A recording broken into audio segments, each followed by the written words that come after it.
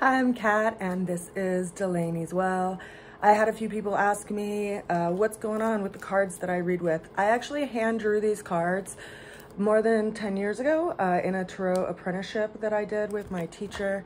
Um, I'm actually in the process of looking at getting them printed so that I can start selling them and people can also start reading them, which is really exciting for me um, because then people can have my art in their tarot readings that they do for themselves and their friends and their clients.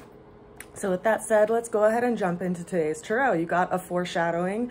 Our opening card of the day is the Emperor. So this is a major arcana card and it's telling us that it is time to bring order to where we see chaos in our life this card is ruled by Aries, so it's governed by that inner warrior. It's like, okay, there's something that needs to be done over there, and I need to gather all my stuff so that I can go show up on the battlefield. And it's somewhere in our life, and we're feeling that call and that initiation to actually take forward steps and move forward and create order. You know, consider that the symbol that's associated with this card is the window. So we need to have perspective when we are looking at, at what needs to be done. And, you know, the, the person who's the colonel of the battlefield, he's not necessarily on the battlefield looking at every single situation and getting absorbed in it they're actually at a higher level where they can see through a window and perspective what actually needs to be done and what's going to be uh, the most efficient and most useful. So if you feel overwhelmed by all of these things that you have to do or all these things that are kind of on your plate, I encourage you to just do whatever you can do today and then tomorrow do whatever you can do tomorrow. And then eventually you will get through these things one thing at a time and you will be creating order out of wherever you feel chaos in your life. The challenge that we have showing up for today is this Six of Wands card. Now, the Six of Wands is usually a really encouraging card. It's all about moving forward based on past successes. But it's showing up as a challenge, which tells me that we're having a little bit of trouble moving forward in some situation, even though perhaps we feel really encouraged by the people that are around us to move forward. And maybe it's all the things that we feel like we need to do and all the chaos, but ultimately, let's see how we get through that. It's going to come down to the five of wands. That's so interesting because we drop from the six of wands to the five of wands, which is actually getting to a simpler process. But whereas like the six of wands is te technically like moving forward, the five of wands is all about choosing your battles, right? Because fives, as I've mentioned in past readings, has this Roman numeral symbol of this V, which means that we have a choice. And wands are all about interaction and, and action and, and where we feel our will is needing to go out and apply itself in the world. And so the fact that there's five sitting here, you can see these figures in the card, they could either be combative against each other or they could be in some kind of cooperative training. And so it comes down to where we want to place our will. You know, do we want to, you know, put it in an area that is causing us strife and is ultimately chewing up our energy and spitting it out? Or do we want to use it in a productive way and learn from our experiences and realize that that's what life is all about? Now, the overall energy for today is the Hierophant. So we have another major arcana card that's showing up for today. And this is all about listening and really listening to your own intuition around when you need to act and, and when it's time to be still and be silent.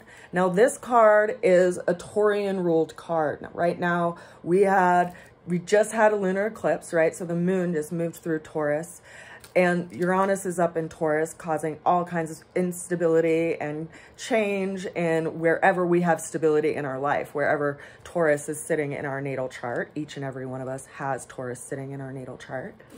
And so there's been all of this upset and all of this change, but it brings us back to like our own inner faith and knowing that we live in a very tightly interwoven universe that is full of potential.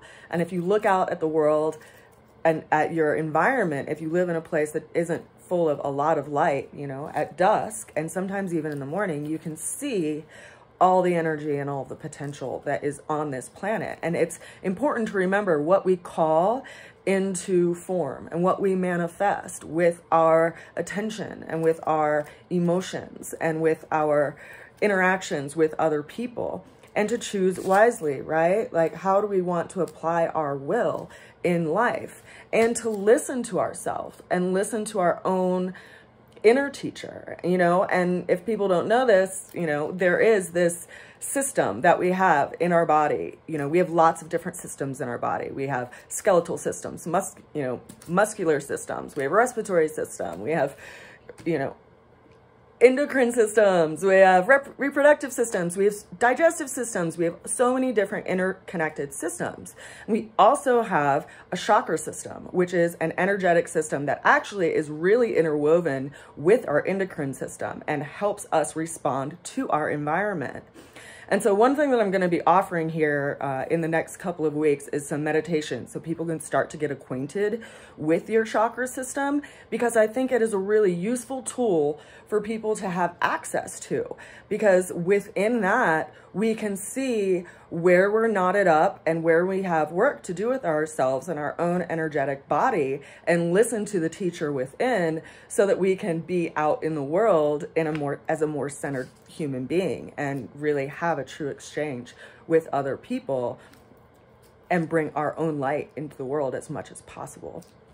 So if you're interested in that, um, like any of the chakra meditations, I'm going to be doing some short ones on Instagram, but I'm going to be recording them and putting them on YouTube so people can listen to them as often as they'd like. I also did develop a essential oil series that go along with it, which I'm going to be packaging and offering um, in you know the coming weeks. I've, I've already done it in the past and had a little booklet, but I just want to update it a little bit. Um, so if you're interested in that, let me know and I can make sure that you get one of them if I'm only doing a small batch of them. It just kind of depends on what I can get my hands on with all of the supplies and everything that are going on. We're getting shortages of. So with that said, I, uh, I just encourage you to listen inwardly and you know, listen to your own inner teacher and where it's telling you what's safe in your environment and what you feel called to and where you feel it is important to nurture and take care of yourself. Because right now we're going through a lot of change and we can deal with it a lot better if our nervous systems are in balance and our body is fed and we have a good support system around us. So I support you and I send you a lot of love and I will see you again soon. Bye for now. Mwah.